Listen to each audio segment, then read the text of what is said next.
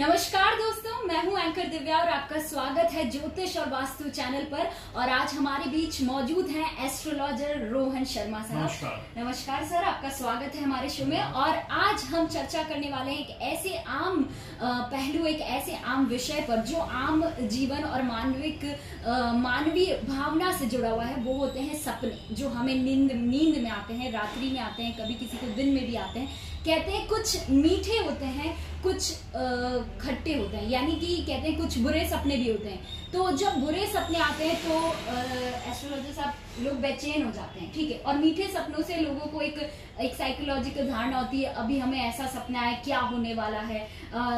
इंसान डर जाता है कि यार मेरे साथ बुरा सपना आया तो मेरा फ्यूचर कहीं बुरा तो नहीं है।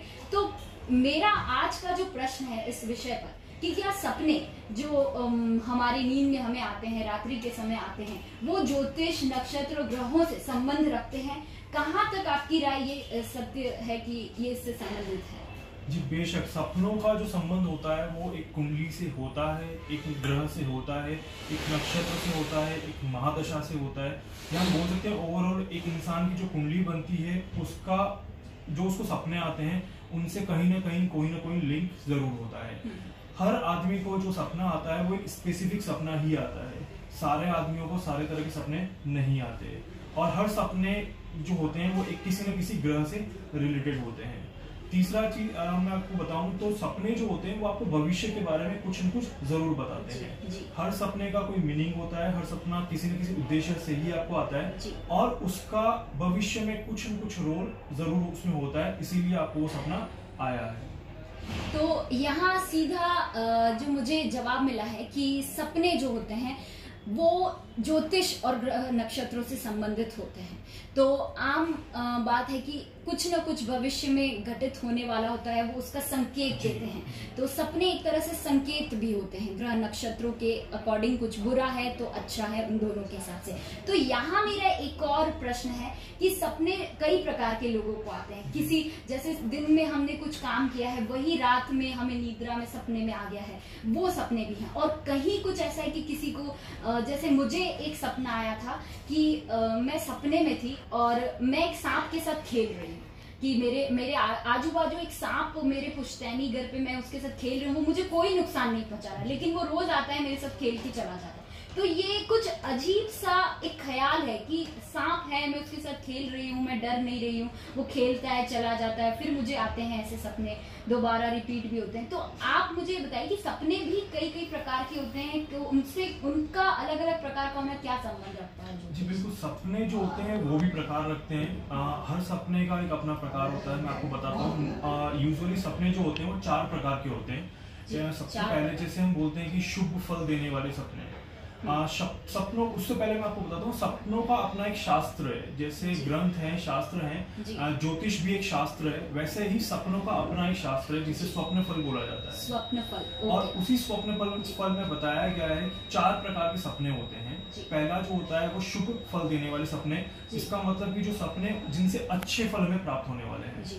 दूसरा हो गया हमारा अशुभ फल देने वाले सपने। मतलब वो सपने जो हमें किसी नुकसान के बारे में बताते हैं किसी अशुभ फल के बारे में हमें बताते हैं। इसके बाद थर्ड नंबर पे आते हैं नियंत्रण करने वाले सपने। नियंत्रण करने वाले सपने वो होते हैं जिस सपने में आपको ना कुछ अशुभ दिखाई दे रहा है न कुछ शुभ दिखाई दे रहा है पर फिर भी कोई ना कोई संकेत आपको उसमें दिखाई दे रहा है। और चौथे सपने जो होते हैं दोस्तों वो बहुत ही ज़्यादा खास होते हैं बहुत ही महत्वपूर्ण होते हैं बहुत ही किस्मत वाले लोगों को वो आते हैं।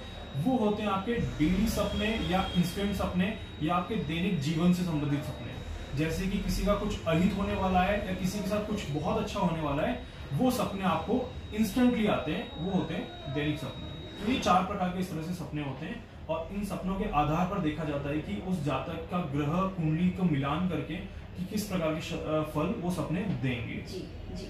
तो जहाँ तक कि एस्ट्रोलॉजर रोहन शर्मा ने बताया कि सपनों के भी प्रकार होते हैं यानी कि ऑब्वियसली बात है सबको अलग अलग आते हैं तो चार प्रकार के बताए हैं जो शुभ होते हैं वो शुभ फल के लिए होते हैं अशुभ होते हैं कुछ जो अशुभ फल देते हैं कुछ आम होते हैं और कुछ किस्मत वालों को आते हैं जो संकेत देते हैं एक वाइब्रेशन देते हैं या एक कहते हैं कि फ्यूचर लाइफ से सिक्स सेंस टाइप कनेक्ट कर देते हैं। तो ये एक चार कैटेगरी बताई है सपनों की जो ज्योतिष और व्यक्ति की पर्सन टू पर्सन कुंडली से भी कनेक्ट करते हैं।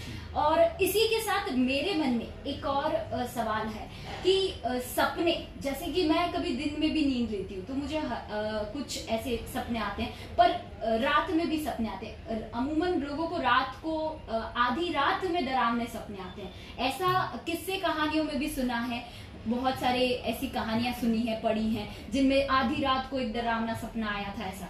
तो ये जो कहावत है कि डरावने सपने अमूमन रात को आते हैं। तो सपनों का भी समय इसके साथ कोई संबंध होता है। जी बिल्कुल सपनों का समय के साथ बहुत ही गहरा संबंध होता है। क्योंकि जो सपने आपके भविष्य के लिए आ रहे हैं आपको उनका संबंध आज के समय से बिल्कुल होता है। सबसे पहले हम ये समझते हैं कि सपने आ, कब ज़्यादा अच्छे आते हैं तो सपने तब ज़्यादा अच्छे आते हैं जब हम सो चुके होते हैं जब हम एक गहरी नींद में जा चुके होते हैं। अमूमन बोला जाता है कि आप जो डेली का काम करते हैं या रात को सोने से पहले एक घंटा जो आपने काम किया वो ही आपके सपने में आ गया। तो दोस्तों, ऐसा होता है, पर बहुत ज़्यादा ऐसा हम इसको नहीं मानते हैं। अमूमन बोलते हैं कि सोने के दो घंटे के अंदर अंदर जो सपने आते हैं, वो आपके डेली रूटीन से रिलेटेड सपने होते हैं। इसलिए हम उन सपनों को बिल्कुल काउंट ही नहीं करते इस ज्योतिष के सपने के जो हम फल बताते हैं उसके अंदर। तो हम काउंट करते हैं, दो बजे के बाद वाले सपने जो होते हैं, वो आपके भविष्य से रिलेटेड सपने होते हैं। स्पेशली अगर देखा जाए तो दो बजे से लेकर साढ़े तीन बजे तक के बीच के जो सपने होते हैं वो आपको आने वाले छह महीने के बीच में जो घटनाएँ होने वाली होती है उससे रिलेटेड आपको कोई ना कोई संकेत उसमें दिया गया होता है। साढ़े तीन बजे के बाद से लेकर साढ़े चार पाँच बजे तक का जो मुहूर्त होता है जिसको हम ब्रह्म मुहूर्त भी कहते हैं उसमें जो दोस्तों सपने आते हैं वो बेसिकली होते हैं आपके तीन महीने वाले सपने। ये आने वाले तीन महीने में आपकी क्या प्लानिंग चल रही है आपके दिमाग में? या उससे रिलेटेड आपको क्या संकेत मिल रहे हैं? जैसे अगर मैं कोई बिज़नेस ओपन करना चाह रहा हूँ और मुझे अगर उसमें कोई नुकसान होने वाला है तो शायद उसके रिलेटेड अगर सुबह चार बजे सपना आया तो उसका लिंक कहीं ना कहीं उससे होने के यहाँ पे चांस होते हैं। इसके बाद साढ़े चार से बाद पाँच से छह के बीच में जो सपने आते हैं वो इंस्टेंटली एक महीने के अंतराल के सपने होते हैं। एक महीने में कुछ होने घटित होने वाला होता है। उससे रिलेटेड जो अंश हमें मिलते हैं उसके अंदर मिलते हैं। और मोस्टली आपने देखा होगा कि साढ़े पाँच के बाद जो होती है नींद और ज़्यादा गहरी हो जाती है हमारी। बहुत मुश्किल होता है उस समय में उठना। और बहुत बहुत खास जैसे मैंने बताया था उसमें चौथे कारक में कि बहुत खास और किस्मत भी लोग होते हैं। उन्हें साढ़े पाँच से लेकर सात बजे तक के बीच में सपने आते हैं। और वो जो सपने होते हैं वो ज़रूरी नहीं कि वो अपने बारे में देखे या अपनी फैमिली के बारे में ही देखे। वो आप देश के बारे में देख सकते हो आप विदेश के बारे में देख सकते हो आप किसी और व्यक्ति के बारे में देख सकते हो अपने पड़ोसी के बारे में भी देख सकते हो। और वो आपको कहीं ना कहीं इंस्टेंट सपने कहलाते हैं जिसमें आप देखते ही या तो आप घबराहट के साथ उठोगे या आप खुशी के साथ उठोगे या आपकी अचानक एक आँख खुल जाएगी।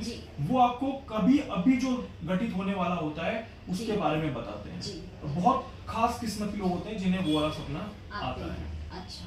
तो ये कहीं ना कहीं एक विषय का एक पहलू साफ़ हुआ कि ये समय से भी संबंध रखते हैं सपने। जो रात्रि में दो बजे पहले आते हैं, वो नॉर्मल जो जीवन में एक्टिविटीज़ हो रही है, उनसे कनेक्ट करते हैं। लेकिन दो बजे बाद जब नींद और गहरी होती है तो कुछ अलग होते हैं। तीन बजे बाद जब ब्रह्म मुहूर्त होता है तो कुछ और उसका कंसेप्ट है। लेकिन पाँच बजे से छह, सात बजे के जो हैं, वो वही चौथे नंबर वाले सपने जो किस्मत वालों को आते हैं और कुछ पावरफुल चीज़ें होती हैं, वो वो सपने कह जाते हैं। और ये समय अंतराल को भी कंक्लूड करते हैं कि कुछ छह महीने का बाद का भविष्य होता है उसको बता रहे हैं कुछ एक महीने के। आप, तो एक चीज़ मैं आपको और यहाँ बताना चाहता हूँ आप अमूमन देखिएगा कि आपको एक ही प्रकार के सपने बार बार आएँगे अगर आपके साथ कुछ अच्छा घटित होने वाला है या कुछ खराब घटित होने वाला है अगर छह महीने का अंतराल अगर आप लेते हैं उसमें तो हो सकता है आज आपको जो सपना आया उसका फल और कल आपको जो सपना आया कहीं ना कहीं उनका फल मैच होता हुआ दिखाएगा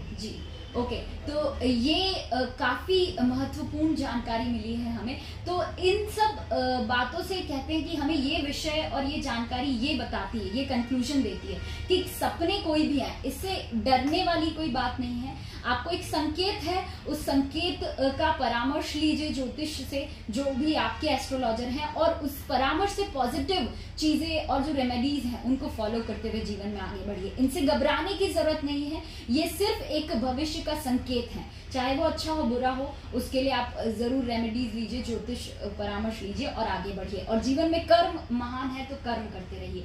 यही आज के इस एपिसोड का विषय पर चर्चा थी, जो कि एस्ट्रोलॉजर रोहन शर्मा ने हमें जानकारी दी है सपनों के बारे में कि सपने ज्योतिष से संबंध रखते हैं।